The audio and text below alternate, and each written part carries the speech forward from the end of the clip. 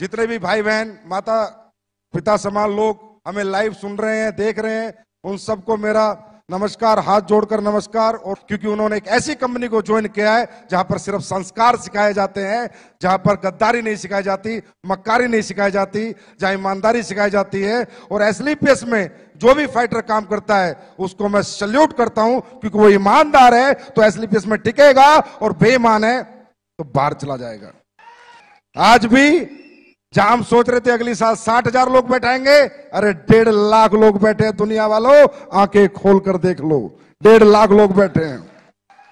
मैं गर्व से कह सकता हूँ कि एसलीपीएस का हर एक फाइटर, हर एक फाइटर ईमानदार है, जाबाज है, सच्चा है, शूरवीर है, और मेरा एक दिल है, कितनी बार जीतोगे? बार बार जीत लेते हो, और बार बार मैं नतमस्तक हो जाता हूँ।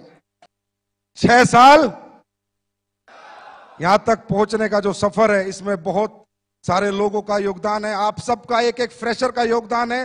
हर उस व्यक्ति का योगदान है जो एसलीपीएस को जानता है, जो हमारे बारे में नेगेटिव बात करता है, उसका भी योगदान है। कम से कम हमारी कंपनी का नाम तो बताता है किसी को। और उस योगदान का सबसे बड़ा श्रेय जाता है हमारी कंपनी के operational director mister Mamchand ji को, जो हमारे पीछे एक मज़बूत स्तंभ की तरह खड़े रहते हैं। अनिल कुरी जी को, जो मार्केट में जा जाके लोगों को ट्रेंड करते हैं। और कंपनी के first ambassador mister Mahipal Singh ji को, जिन्होंने इंडिया में नहीं, वर्ल्ड रिकॉर्ड बनाया इतने कम समय में इतनी अचीवमेंट लेके। सारे black diamond, blue diamond diamond, star sapphire sapphire, ruby, topaz emerald platinum, gold, silver, bronze. हर एक वो व्यक्ति जो एसलीपीएस को जानता है, यहाँ तक पहुँचाने में उन सबका योगदान है दोस्तों, उन सबका योगदान। छह साल बेमिसाल। कर दिया तुमने कमाल।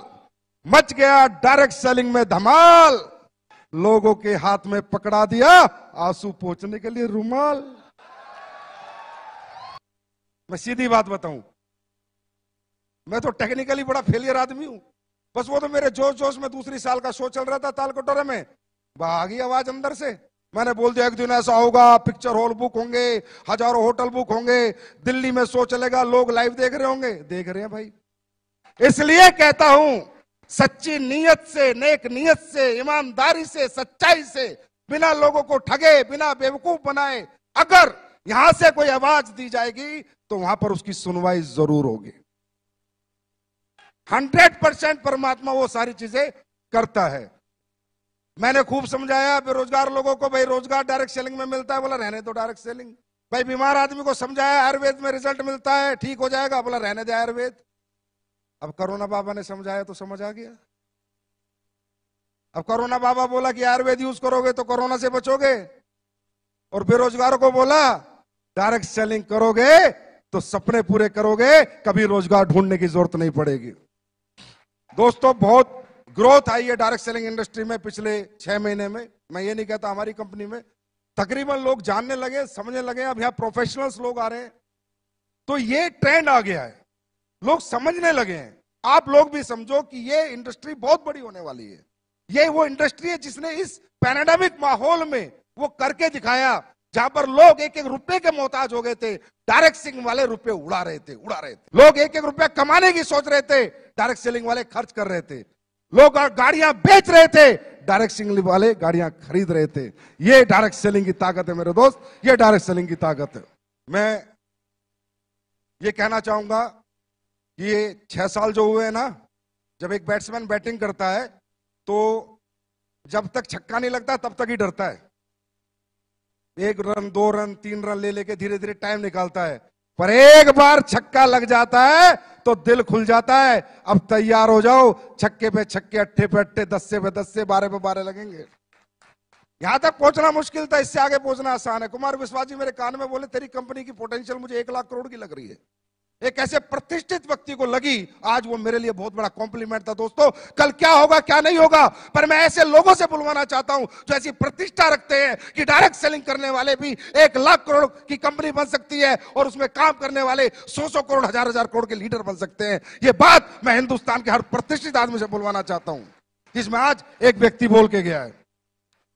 लेकिन तकलीफ़ सिर्फ़ जब होती है, जब यहाँ लोग आके फेलियर हो जाते हैं। जब बहुत तकलीफ़ होती है फेलियर होने के बहुत सारे कारण हैं। हम स्टेज के माध्यम से मैं सारे नहीं बता सकता आपको। क्योंकि फेलियर होता कौन है? डायरेक्ट सेलिंग करता कौन है? जिसको रियल ज़रूरत है। एसलीपीएस ज्वाइन कौन करता है? जिसको नीड है, जिसके परिवार में ज़रूरत है, जिसके सपने हैं, जिसके घर में तकलीफ़ है प्रॉब्लम है। ऐसे middle class lower middle class ऐसे लोग इस इंडस्ट्री में आते हैं।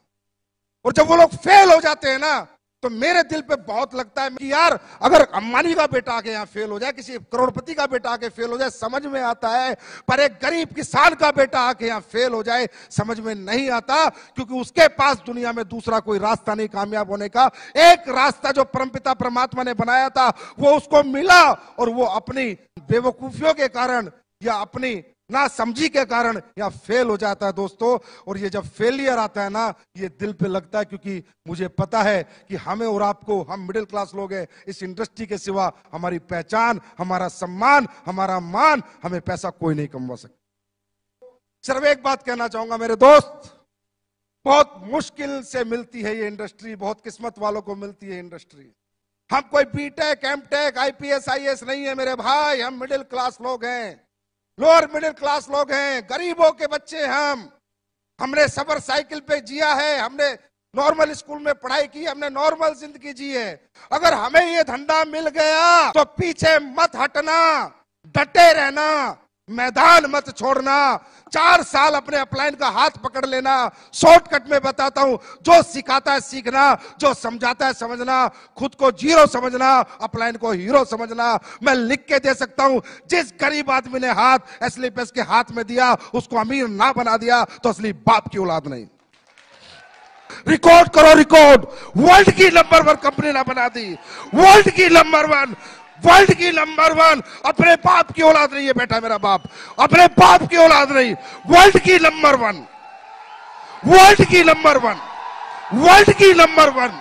वर्ल्ड की नंबर वन कंपनी बनाऊँगा। जमात से कड़वाऊं, लेकिन यहाँ से। कभी नहीं सोचा किसी का नुकसान कर दूँ, प्रोडक्ट का रेट फालतू में बढ़ा दूँ, प्लान में कुछ चेंज कर दूँ, लोगों का खा जाऊँ, लोगों का हजम कर जाऊँ। कभी नहीं सोचा। हमेशा ये सोचा मैं ज़्यादा कैसे दे सकता हूँ? मैं और ज़्यादा क्या कर सकता हूँ? अभी पहला चेक नहीं आता था बिना के वैसे के। मैंने सोचा, यार, पहला चेक जाना चाहिए। उसका पहला चेक नहीं होता। वो हज़ार रुपए उसे करोड़ों में दिखते हैं। मैंने पहला चेक देना शुरू किया। कौन साला एमडी देता है? लोग ठीक होते हैं, दुआएँ देते हैं। पैरों में पड़ जाते हैं। अरे गुरुजी, मैं ठीक हो गया।